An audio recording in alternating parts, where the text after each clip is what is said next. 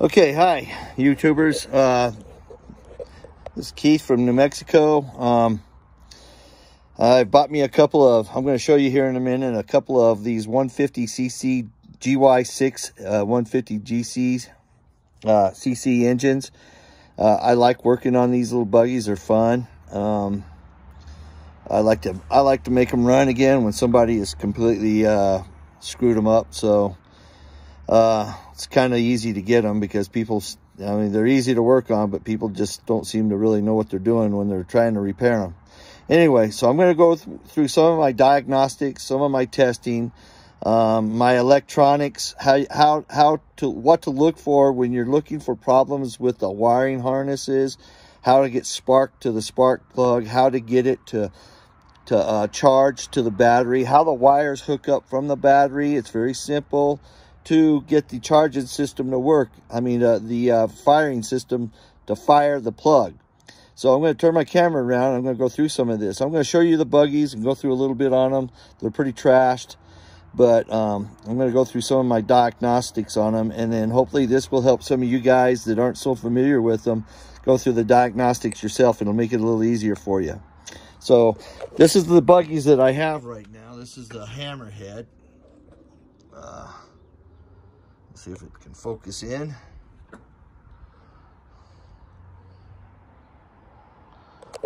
Let me clean the lenses a little bit.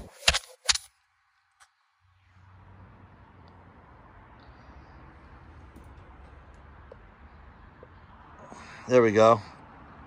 So this is the uh, Hammerhead 150. I've pulled the plastic off the jug. Uh, I went through the carburetor and checked it to make sure it wasn't all gummed up and, and just full of crap. And, you know, it was dirty from sitting, um, but it was it was still a good carburetor. So I'm going to go ahead and put it back on there and use it. I cleaned it all up. This is my Trailmaster 150, and I'm currently in the middle of putting new struts on it. I've got some struts ordered for it. it, it they both need braking systems. The brake, brakes have been completely fried on them. They cut the brake lines, uh, everything like that. Um, I've got this one here situated where I've got it all, the wiring all figured out uh, as far as the harness is concerned. And what I'm going to go through on the hammerhead is going to be pretty much what's going on with this one. Um, but I wanted to go through uh, the wiring systems on these because uh, people think they're more complicated than they are, and they're really not. Uh, they're very simple. Okay, so you have your power wire that comes off the battery. So you got your positive and your negative, green and red. That one don't look so red because it's it's old, but it's red. So they come up here, and you've got your main wire that goes to from your battery that goes to your starter solenoid and I've got starters I've got a starter button on this because I've been testing it. And uh starter button. Because this starter solenoid's bad which they normally do go bad from people trying to start them when they go when and and they can't figure out what's wrong with them they end up burning up the solenoids. Then you have uh the the wire that goes to uh the carburetor from the carburetor. This is your choke. This is your automatic choke. And it's got to be wired into 12 volts somewhere. So it doesn't matter. It's not a special wire or anything like that. It's just got to have power going to it so it can automatically choke your choke. It senses it from the carburetor. So it's not something that has to be wired in a specific place. It can be wired anywhere into the wiring harness as long as you got power going to it and, a, and, and it grounded okay? So you want to look for a plug that's got power going to it and you can always use your test light uh, to do that. You know and I have a little test light like a simple test light around here I use to test stuff.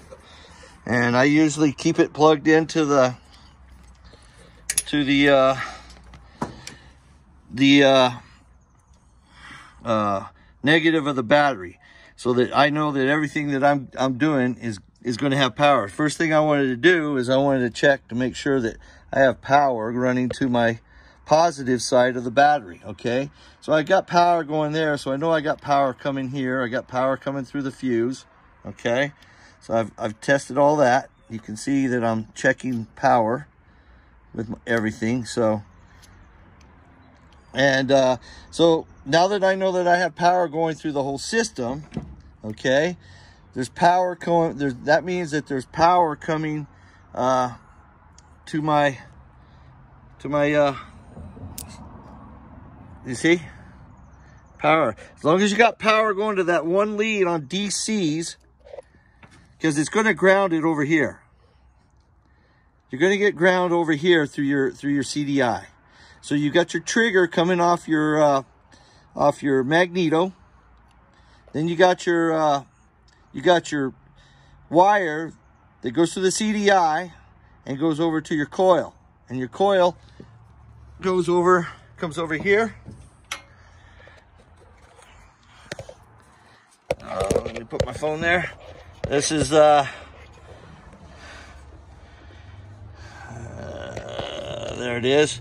So this is my negative, and the negative always goes to the black side of the coil. I don't know why, but it does, okay? It just doesn't go green. So the green wire goes to the black side, and then your coil wire goes to the green side of the coil. At that point, you can take a you can take a spark plug and just lay it against your block take your starter and check it and see if it's got power. Now, what I'm going to do is I'm going to spray some stuff down in there. And this is going to be a little hard for me to show because I've got my phone, I got my, I'm recording this, but I'm going to try and put the phone here. We're going to shoot a little starter fluid in there.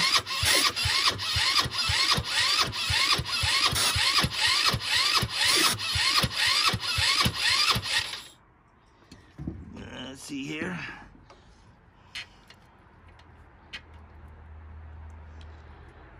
Okay. Try it again.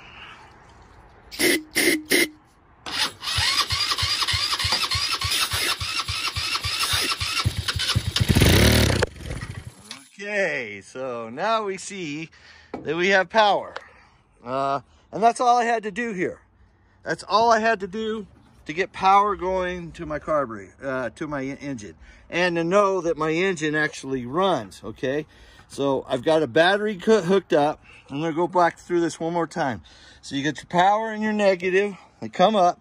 Your negative goes to your block. You have a you have a harness negative um, that goes to the the block.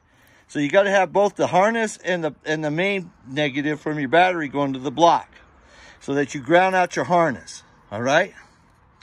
Then you got your, then you got your choke that goes, and it can be to any ground. It can be any ground going to your, uh, I mean, any power source that's got two wires and you get, you can check that on when, when your thing's running, you can check when your, when your buggy's on power. Um, let me find my thing here. Let's see here.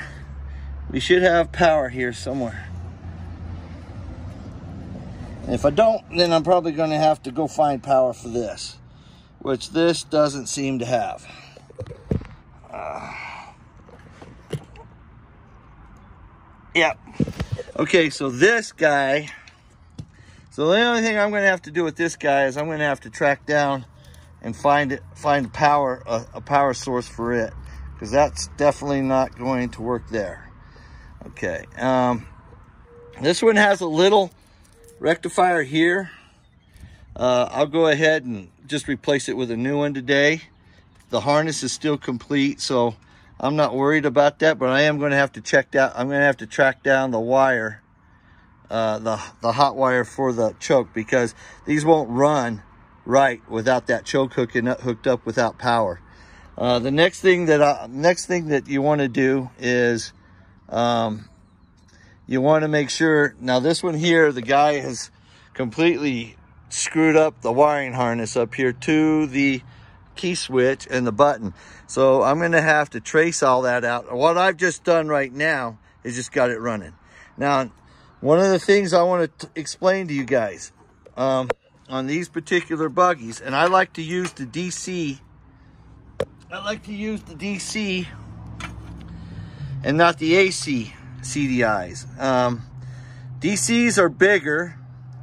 They plug in just like this, the, uh, the uh, AC. The thing about AC is that you have a power and then you have an off switch for the ACs that kills them. And that one runs off your alternator. The smaller ones here run off your alternator. The bigger ones run off your battery, but as long as your battery, your as long as your charging system is working, it's charging your battery. And I, it's simpler because you only have one wire here.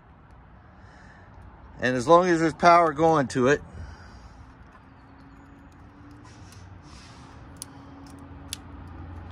well, let's get the thing back here hooked up. Okay, as long as you got power coming to it, it should have power.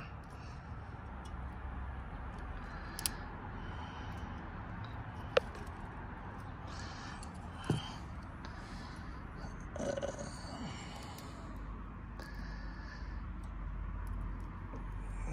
I know I'm trying to hold this and keep everything going so we got power. We got power. And I know we got power coming here because had it a.